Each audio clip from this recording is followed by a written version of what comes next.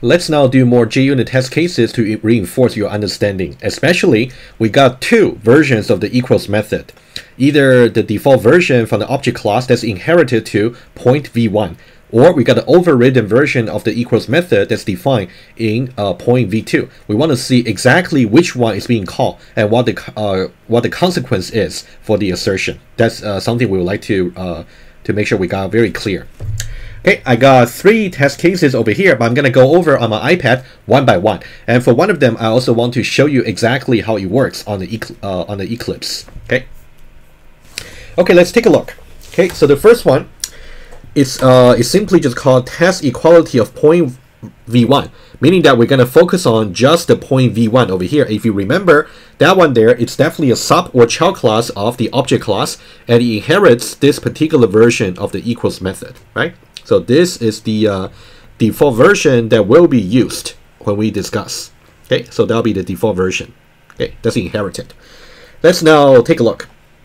And we also visualize the objects just, just to help us. Okay, so here we got P1. Oh, too thick. We got P1 and also we got P2. Over here you can see we got P1, we got P2. And their dynamic uh, their dynamic types is simply point V1 and also point v1, right? You can see exactly how to figure out their dynamic type. Just look for the constructor after the new keyword. So new point v1, that's dynamic type for p1. New uh, also point v1, so that's the dynamic type for the objects pointed by p2. Okay, so far so good. And then let's let's fill out. 3, 4, and also 3, 4. So 3, 4, and also 3, 4. Okay, so far so good. And let's see some very simple assertion. If I assert false, P1 equals equals P2. What's P1 equals equals P2? Well, obvious P1 and P2, they're of different uh, object addresses. Of course, they're pointing to different objects. So this expression here should be false. And since we are asserting false, so that one is going to pass. Okay, check. What about P2 equals equals P1? Similar, it's going to return false because P2 and P1, they're pointing to different objects, and since we are asserting false, so it's going to pass. On the other hand, what you can do is, which I uh, suggested over here, you can try it out on your, on your Eclipse. If you set assert same, and then P1, P2, or you try assert same P2, P, uh, P2, comma P1, in that case, you're going to fail for both because this one will boil down into P1 equals equals P2. And this one will boil, boil down into P2 equals equals P1. And both will actually fail, right? Both, both will evaluate to false. Okay, let's now see the second one, or the next one, actually. So if I say assert false, P1 dot equals P2, okay? So now, which version of the equals method are we going to call? It depends on the dynamic type for the context objects, which is P1. P1 has the dynamic type over here, right? So that means we're going to call this version of the of the uh, equals method as default, and which will boil down into this one will boil down into p1 equals equals p2. So this is the default from objects.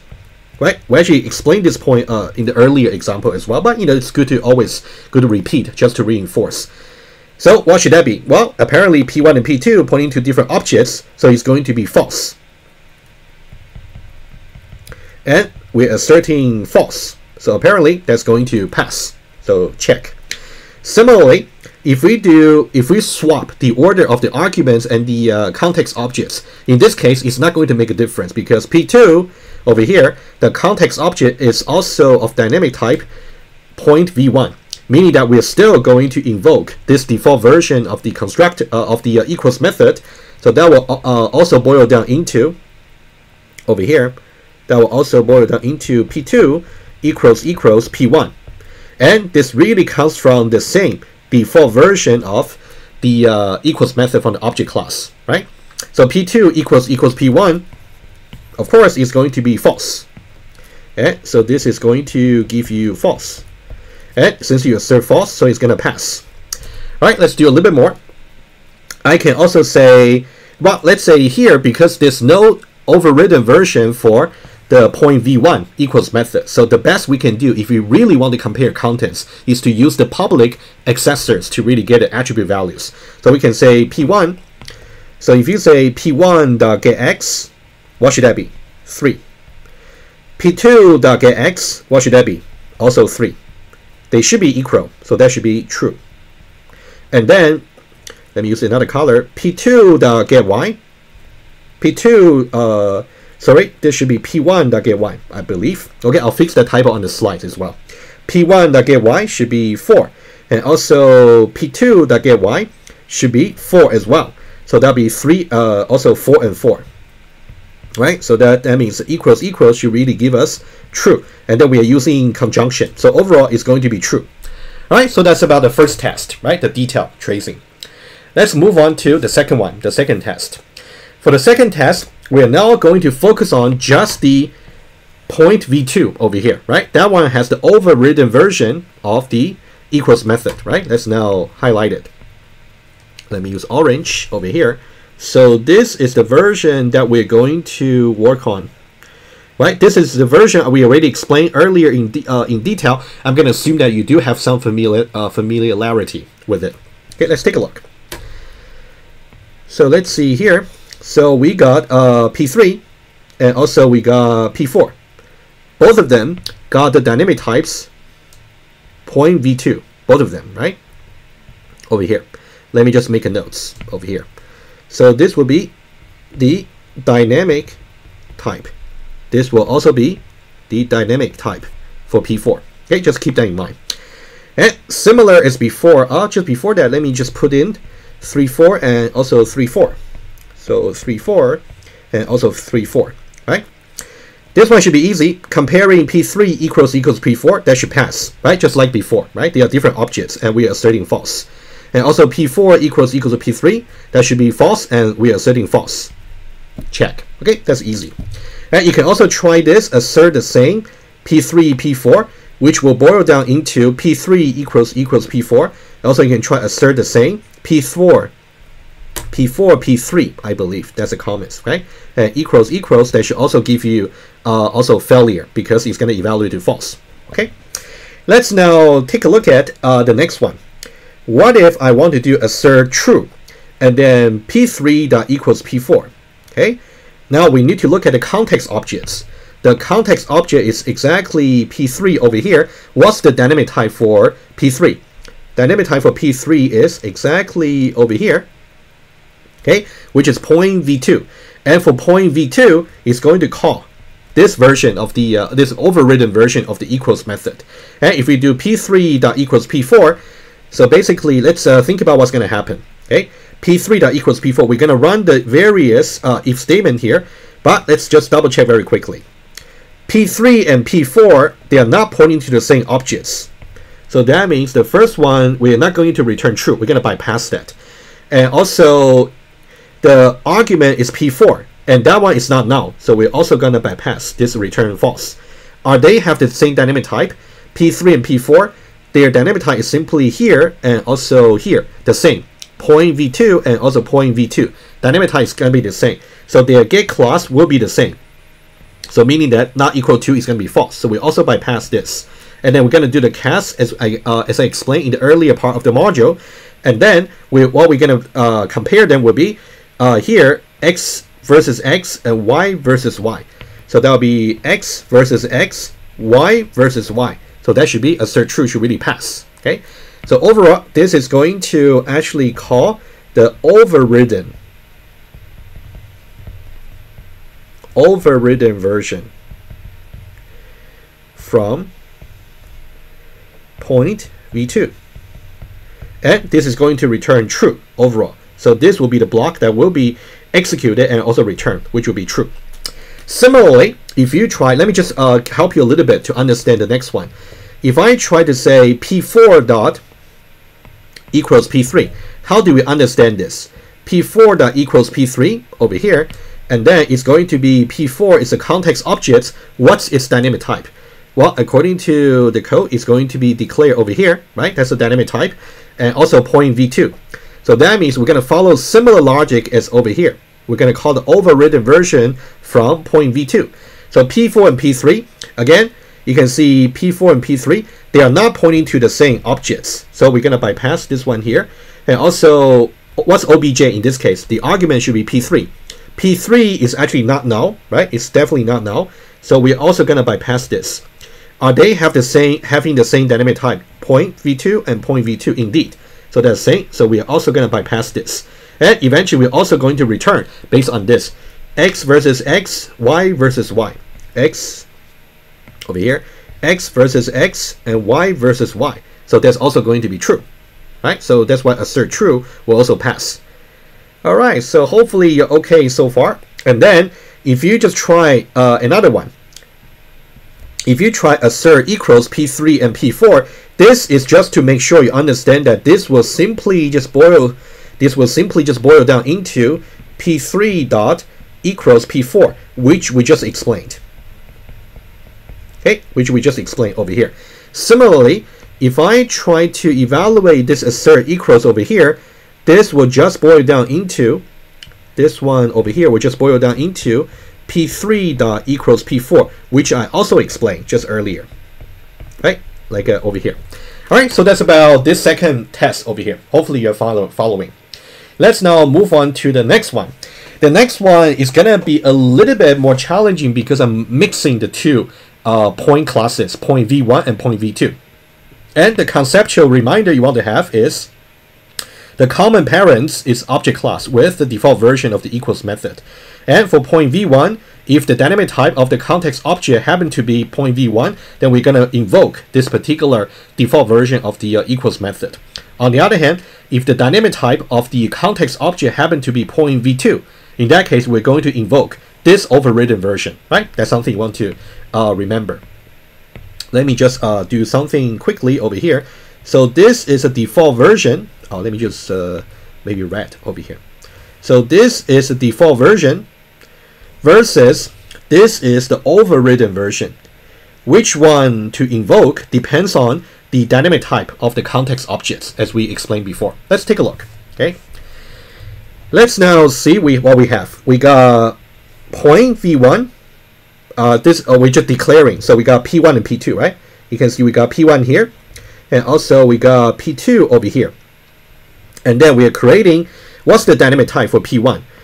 Then dynamic type for P1 is going to be uh, new point V1 over here. Let me use maybe red. So it's going to be new point V1 over here. So that's the dynamic type. Versus the dynamic type for P2 is going to be point V2. Right? You can see exactly how we visualize the dynamic type for P2 and also the dynamic type for P1 over here, right? It's really important for you to see that. Okay, and let's also fill out the attribute value. We got 3, 4, 3, 4, and also 3, 4. 3, 4, and also 3, 4. Okay, there's something I would like to just remind. It's uh, actually in the comments over here. That's something you can also try. I already uh, made available to you the source code. You can definitely try it out.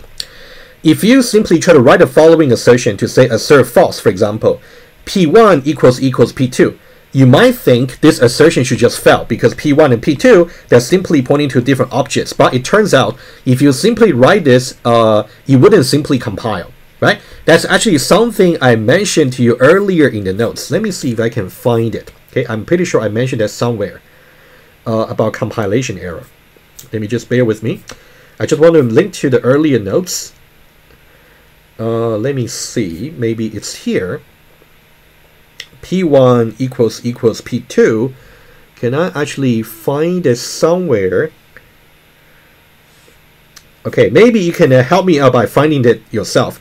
So earlier in the notes, I mentioned that if you got different types of the objects, if you try to use equals equals, it is going to give you compilation error. Okay, I cannot seem to find it. Maybe it's uh, it's uh, hiding somewhere in the notes. Okay, I'll, I'll rely on uh, rely on you to actually find it. Okay, but let's just go back to the uh, current example. Okay, the current one. Let's take a look. If I say P1 equals equals P2 because P1 was declared to be point V1, P2 was declared to be point V2. You just cannot compare directly addresses of two different uh, objects of different static types, P, uh, point V1 and point V2. Okay, so let me just draw the link over here. You can see here, P1 is was declared to be this type over here, and P2 was declared to be this type over here. Okay, so that's why you just cannot compare them directly. Okay, on the other hand, interestingly, if you try to do the following, if you try to do assert same over here, and over here you simply pass P1 and P2, this will definitely compile because for assert same, it can take any objects uh, as the two arguments to the method. But P1 and P2 over here assert the same, it will simply boil down into implicitly P1 equals equals P2. So that's why I said, I'm pretty sure I said earlier in the module that you, you definitely cannot write P1 equals equals P2 directly if they are of different static types, like declared types over here. On the other hand, if you simply put it into the context of assert the same, in that case, you will boil down into checking P1 equals equals P2. But that's okay. That's something that's to be done by the Java runtime, not by you. If you as a programmer simply wrote this, you're gonna get a compilation error, right? So notice the difference over here. It's a little bit tricky, but it's logical. All right? I'll let you study that. Let's now look at the two final assertions, shall we? Let's now look at the first one. If I say uh, assert false over here, let's say p1 dot equals p2. Now, which version are we going to call? Well, now should be very natural to you. You should really look for the dynamic type for p1. What's the dynamic type for p1? It should be here. So this is dynamic type for p1 over here. Okay, and that should be point v1 meaning that we're going to, okay, so this tells us that we're going to invoke the default version of the uh, uh, equals method that's inherited to point, uh, point v1. It will boil down into p1 equals equals p2. In that case, are they referring to the same objects? No, they are not. So it's going to be false. Okay, and so this is default version from object class. Okay, let's look at the second one. The second one, let's say we try to do p2 dot equals p1. Now the context object is different, so we kind of swap the order. So what would be the, um, uh, let's see, let me use the, what would be the dynamic type for p2? It will be exactly over here, right? So that's the dynamic type for p2, which is point v2, right? So for point v2, so that means we're actually going to actually call this version over here, right? That's the default, uh, that's the overridden version for the equals method. If we do p2 that equals p1, so now since we know p2 and p1, dynamically they are simply of different types as we can see from here. So that means eventually we'll get to this point over here, and then when we get to this point, actually we explained a similar example earlier, but I just want to explain one more time. So we are, we're actually going to get here right? You can see we got P2 and P1. So this will just be, uh, let me just use a different color. So this will be replaced by P2 and OBJ will be replaced by P1. Okay. What's P2 that get class? P2 that get class is going to be point V2 and P1 that get class is going to be point V1. Are they the same? They are not the same, meaning that this Boolean expression is going to be true. So that means we're going to hit it and, and then return false, right? That's what's going to happen. So we're going to return false over here. Okay, so it's going to be boiled down into p2 dot get class. In that case, it's not equal to p1 dot get class. According to the definition for the overridden equals, that means it's going to be false. Okay, it's very important for you to see that. Okay. All right, so that's about the uh, this uh, this uh, last JUnit test I would like to go over, but I want to show you one more thing before I conclude it. Okay, let's now go to Eclipse. It's really important for you to see the different versions being invoked. So if you go under the same projects, okay, and then go to test points, okay, I want you to go to the third one. Okay, so you got the different methods over here, right?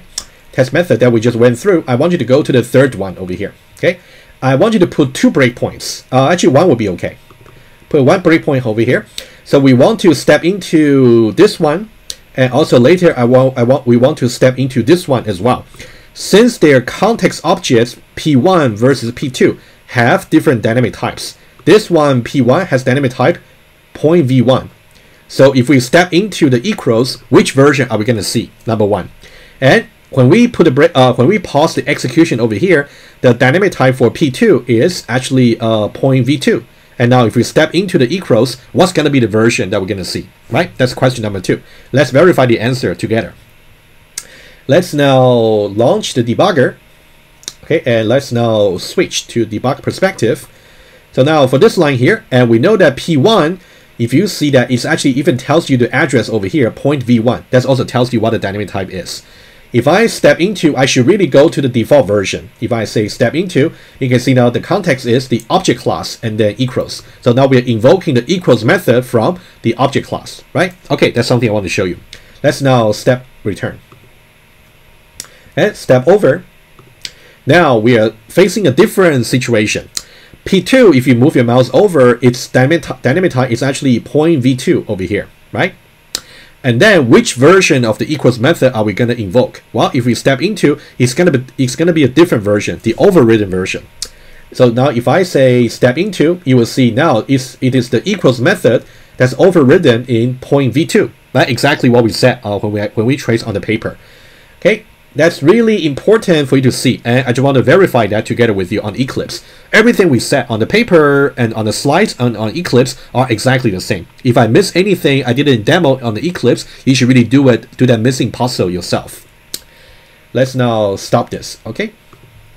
Let's just go back to slides. Okay, so these are the three test cases I just uh, trace together with you. And the next video, I would like to review the short circuit effects for the logical operators.